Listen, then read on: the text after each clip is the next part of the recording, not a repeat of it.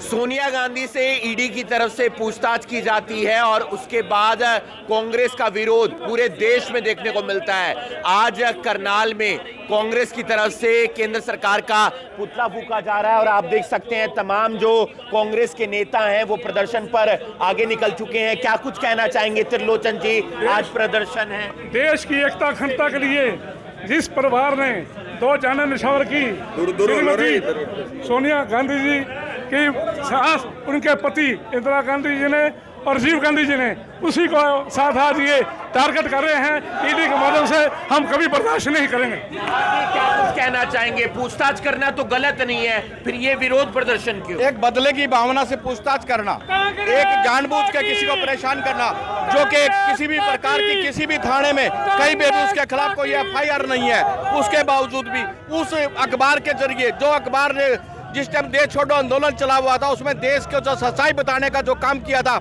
यही हेड जो अखबार है, उसके ज़रिए सारी बातें होती थी। आज उसी को चलाने के लिए जो कांग्रेस ने जो मुहिम चलाई थी, उसको दबाने के लिए आज इन्होंने ईडी का सहारा लिया, जो एक पिट्ठू बन के सरकार की सस्ता रह गई है। तो आप देख सकते हैं, कांग्रेस आज प्रदर्शन करती हुई नज़र आ रही है।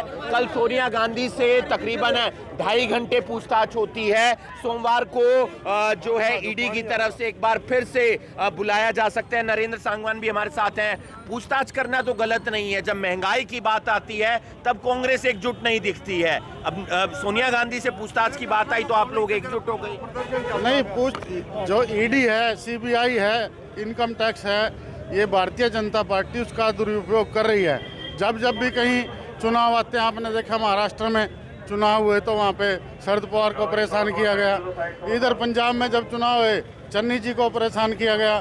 तो इस तरह से कांग्रेस पार्टी के जो वरिष्ठ नेता हैं, उनको, उनके ऊपर दबाव बनाया जा रहा है। आज लोकतंत्र का गड़ा घोटने का काम